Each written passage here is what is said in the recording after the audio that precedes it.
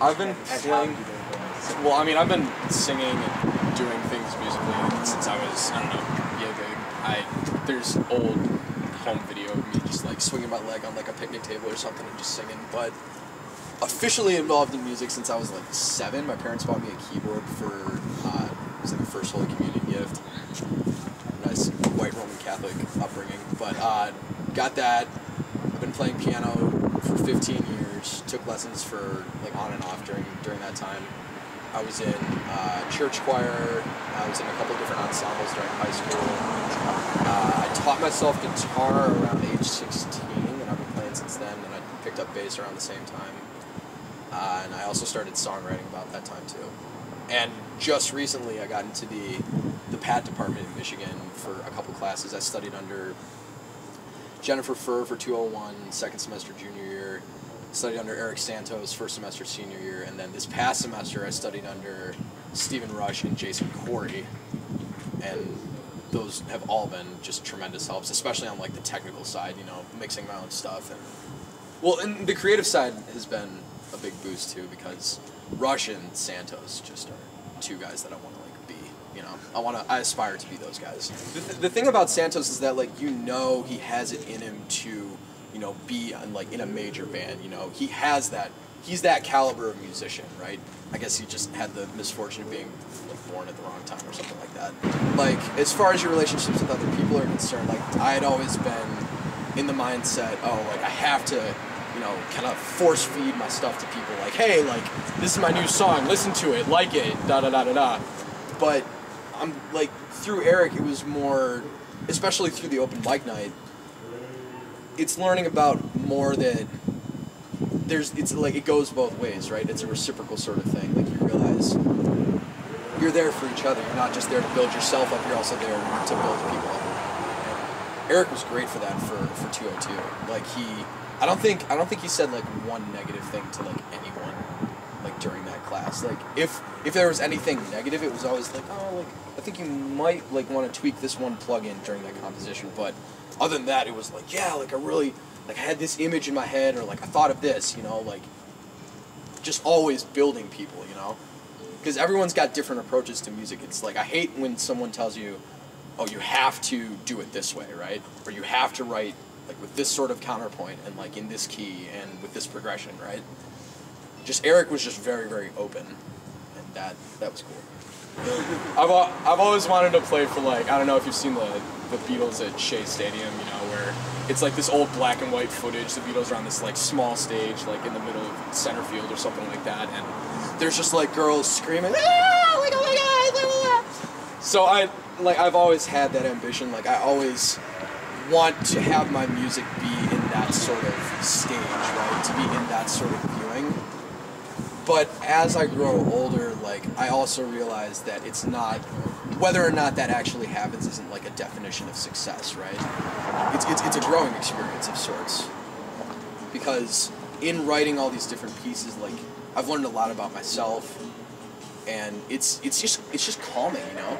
It's it's very it's very calming to be able to put yourself out there and say like, okay, you know, regardless of what people think of this, you know, I'm a good person, like, and I've made some good stuff here. Like, I'm proud of this, and just being able to put yourself out there, in that regard, like it, it's had so many other great effects on the rest of my life. You know, it's just it livens your day, it makes your conversations with other people all that more lively. You get outside the, oh yeah, what's your major, man? Like, oh yeah, I'm a senior. Da da da. You get outside that sort of conversation. You know, moments where you're putting yourself out there the mindset that I usually go into, it's like, it's one of two things, right? I always go onto the stage thinking like, I want to make somebody's night, you know, just somebody. I want somebody to like look up at me playing and think, damn, like, that was that was legit, that was cool. I want someone to think that, but then also at the same time, like, my favorite moments in music have been where it takes people outside of like this this world that we live in, right? It takes them outside of even like my world, right? Because I know a lot of singers and songwriters will be like, "Come and listen to this like boy that dumped me like three or four years ago, and you're gonna listen to it, and it's gonna be painful, and it was awful, blah blah blah. He's a scumbag, whatever." Like, that's all well and good, but my favorite moments in song and just life in general have been when people can take you outside of like this world, right, that we live in, and just into another one for even two or three minutes, right? Like I don't know if you know the song uh, "Song Two" by Blur, right? Like that song makes literally no sense. It's I got my head checked by a jumbo jet. It wasn't easy, but nothing is. That's like the first verse, and it makes zero sense. And there's no words to the chorus either. Well, actually, it's it's woo woo and then it's when I feel heavy metal, and it's it just makes zero sense, right? But in trying to make sense of that, that's just the way our brains are programmed.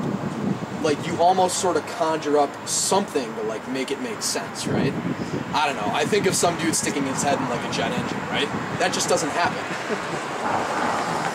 okay. And but to be able to like step outside this world where people don't stick their head in jets en- like jet engines into like a world where people do, it's cool. Like for two minutes, and then you're back in this world, and it's like wow. I, I, I don't ever plan on like changing what I do to like what I do on stage to like please other people, right? Because if I did that, I'd just be playing you know four chord pop songs all night, you know, because that's at the end of the day what the most people can relate to, right? And it, it kind of boils down to this idea that in music, like ultimately, ultimately you're alone, right? Ultimately, it's your experience. Ultimately, it's the work that you create is it reflects you, or it reflects something that you're passionate about, right? So why why take that opportunity to just express what drives you and express the things that make you tick in song? Why throw that away to kind of gauge what other people are doing? So it, I guess it's this it's this thermostat versus thermometer sort of argument. You know, I would much rather be a thermostat saying, "This is the temperature that I'm taking it to. We're going to 112 today, and if you like it, like awesome. Like stay here and rock with me. If not, like you're not thinking about me as much as I think you are. You know, instead of being, uh, you guys look like you're at about 71. I'm gonna just play around 71 degrees today. Does that make sense? Absolutely. Okay. My best performing moments have been when there's a very deep, dark like corner of my mind. Not like not like dark in like the spooky, like scary sort of way, but just like dark where there's like literally nothing. Right? And my best performing moments have been when I can get myself into that mindset. Where just like you're so in the moment.